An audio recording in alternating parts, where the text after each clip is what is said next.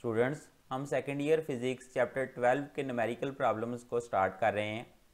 मैं आपको रिकमेंड करूँगा कि आप वीडियो एंड तक देखें। इस वीडियो में सिर्फ़ मैं 12.1 को सॉल्व करूँगा। बाकी जो न्यूमेरिकल प्रॉब्लम्स हैं, वो उनके लिंक्स उनकी वीडियोस जो हैं, इस वीडियो के ख़त्म होने पर आपको स्क्रीन पे भी नज़र आ जाएँगी और उनके लिंक्स जो हैं, वो डिस्क्रिप्शन में भी मौजूद हैं। मैं आपको रिकमेंड करूँगा कि आप थोड़ी पेशेंस रखें, आराम से न्यूमेरिकल को समझें। थोड़ा टाइम ज़रूर लगेगा इन न्यूमेरिकल्स में, लेकिन आपको एक तो समझ आ जाएगी। दूसरा, आप बिलीव करें कि ये वीडियोस जो हैं बिल्कुल डेटा फ्रेंडली हैं। इसमें आपका टाइम तो लगेगा, लेकिन आपका डेटा ज़्यादा कंज्यूम नहीं होगा। इवन अगर आप टेन एटी पे भी देख रहे हैं तो। स्टार्ट करते हैं two twelve point one medical problem को। इसमें हमें क्या बताया गया? है इसमें हमें बताया है कि हमारे पास दो चार्जेस हैं, जो बिल्कुल एक जैसे हैं। और उनके बारे में जो इन्फॉर्मेशन हमें बताई गई है, उसको ज़रा नोट कर लेते हैं। दोनों के दरमियान जो फासला है, दोनों के सेंटर्स के दरमियान, यहाँ से मतलब स्टार्ट करें आप। तो ये फासला जो है that is nearly ten cent बल्कि नियर नहीं, बल्कि एग्जैक्टली टेन सेंटीमीटर बताया गया। और दोनों के ऊपर चार्ज की मकदार हमें बताई है। दोनों चार्जेस के ऊपर चार्ज की मकदार जो है वो ट्वेंटी माइक्रोकूलम है। यानी ये चार्ज भी ट्वेंटी माइक्रोकूलम का है, ये भी ट्वेंटी माइक्रोकूलम का है।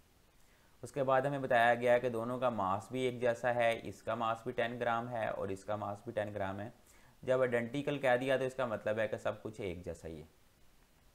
अब हमने जो है वो फाइंड क्या करना है? हमने देखना है कंपेयर करना है कि इनके दरमियान जो कूलम्स फोर्स है, यानी जो ये चार्जेस के दरमियान जो फोर्स होती है, उसके मैग्नीट्यूड को कंपेयर करना है, जो आपने मासिस के दरमियान फोर्स पड़ी हुई है कि कायनात में हर दो मासिस एक दूसरे को अट्रैक्ट करते हैं, उस फोर्स के साथ आपने कंपेयर करना है चार्जेस वाली फोर्स को।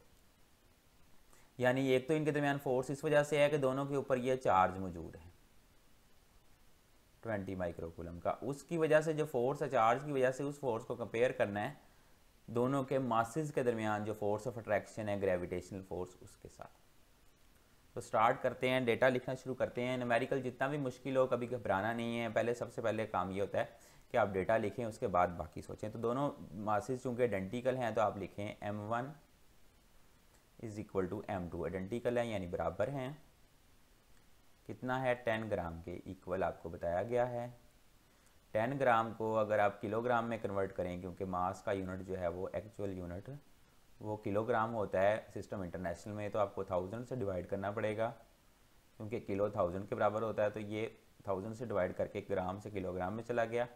आपके पास आंसर आ गया zero point zero one kilogram दोनों मासिस का ऊपर ये मास उसके बाद चार्ज की बात कर लें, दोनों चार्जेस भी आइडेंटिकल हैं, एक जैसा चार्ज है Q one is equal to Q two which is equal to twenty micro coulomb micro कितना होता है? Ten raise power minus six होता है twenty multiplied by ten raise power minus six आ जाएगा। आगे आप इसको थोड़ा कैंसिल करके two multiplied by ten raise power minus five कर सकते हो, लेकिन आमतौर पर ऐसे करते नहीं हैं।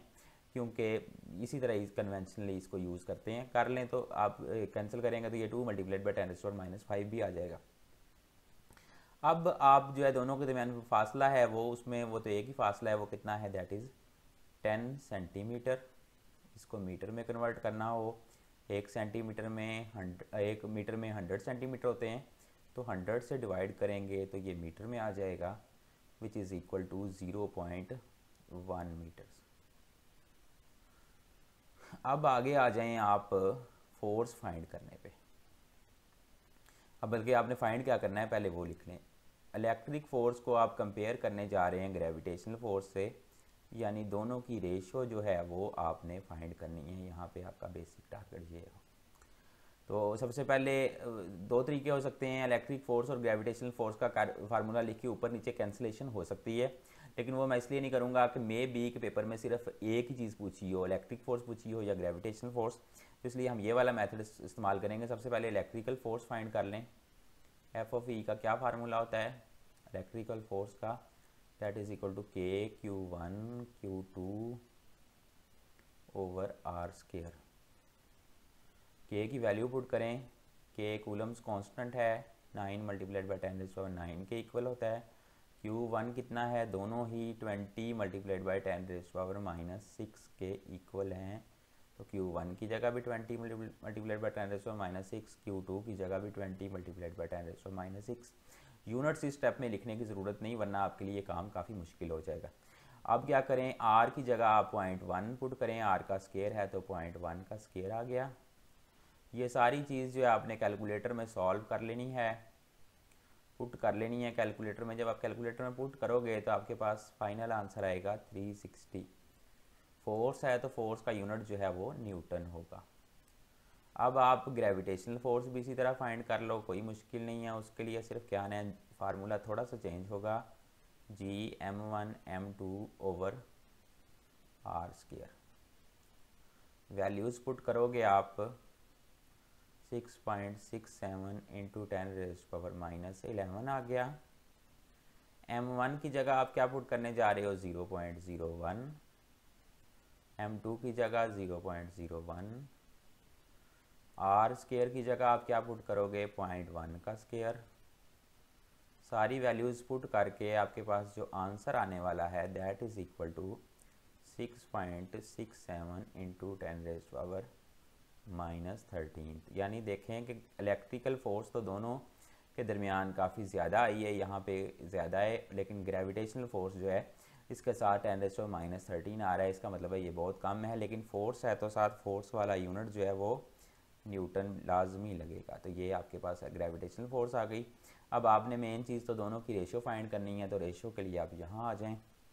लिखें F of E over F of G F of E की वैल्यू ऊपर आ जाएगी 360 एफ़ ऑफ़ जी की जगह आपके पास आ गया। कितना आया? 6.67 point six seven into ten raise power minus thirteen आया हुआ है।